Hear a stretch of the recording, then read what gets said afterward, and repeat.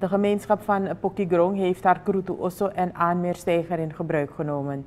Het dorp heeft de projecten die ruim 400.000 SRD hebben gekost, betaald uit middelen verkregen uit de commerciële houtkapactiviteiten. De ingebruikname van de vergaderzaal en aanmeersteiger vond plaats op zondag 24 november. Met de middelen die verkregen worden uit het commercieel exploiteren van het gemeenschapsbos kan het dorp duurzame projecten financieren. Hierbij begeleidt het directoraat Duurzame Ontwikkeling Afro-Surinamers Binnenland van het ministerie van RO de gemeenschappen. Monique Pinto, zij is onderdirecteur gemeenschapsontwikkeling, zegt dat het ministerie zeer ingenomen is met de manier waarop de gemeenschap van Pokigrong het geld besteedt. Pinto zegt dat dit een stuk beleid is van het directoraat om zelfwerkzaamheid en ondernemerschap te stimuleren.